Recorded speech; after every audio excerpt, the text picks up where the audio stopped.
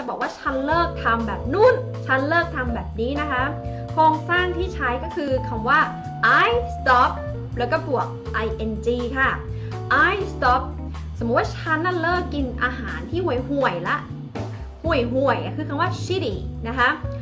I stop eating shitty food shitty food ก็อย่างเช่น พวกอาหารทอด พวกอาหารมันๆนะคะ I stop eating shitty food แบบนี้นะคะ I stop eating shitty food ถ้าสมมุติใครที่แบบเลิกอะไรบางอย่างนะคะ ก็สามารถพูดได้ว่า I stop doing something I stop I stop sleeping late คือเลิกนอนดึก I stop sleeping late ไม่ได้อ่านว่า stop เป็ดนะอ่านว่า stop ถึก แต่ว่าเวลาพูดอะค่ะคำเสียงถือมันไม่ต้องออกก็ได้นะคะ เสียงถือเนี่ยเป็นเสียงลม เวลาคนพูดจริง ๆ ในสถานการณ์จริงๆอะค่ะ เขาไม่ได้ให้ความสำคัญก็ตัดไปเลยนะคะ I stop eating shitty food แบบนี้ก็ได้ I stop eating shitty food I stop sleeping late I stop I stop gossiping เลิกเมา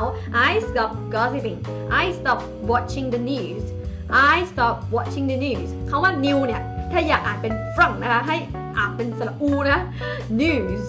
news โอเค ลองสระอูดูนะคะ โอเค นี่คือคำสั่งแบบแกเลิกกินอาหารห่วยๆได้ละ stop อ่า stop อะไรดีอะ stop working um, too much stop working too much คำว่า too เนี่ย T O O นะ เป็นอะไรที่แบบมากเกินไป you're eating so much แปลว่าเธอกินเยอะไปแล้ว แต่ว่าถ้า you're eating too much คือเยอะมากเกินไป มากเกินไปแบบเกินพอดีอย่างเงี้ย you are you อะไรเดีย you are um I don't know you're saying yes too much you're saying yes too much แกตกลงกับทุกเรื่องเลยอะ you're saying yes too much เยอะเกินไป ดังนั้น please stop saying yes to everyone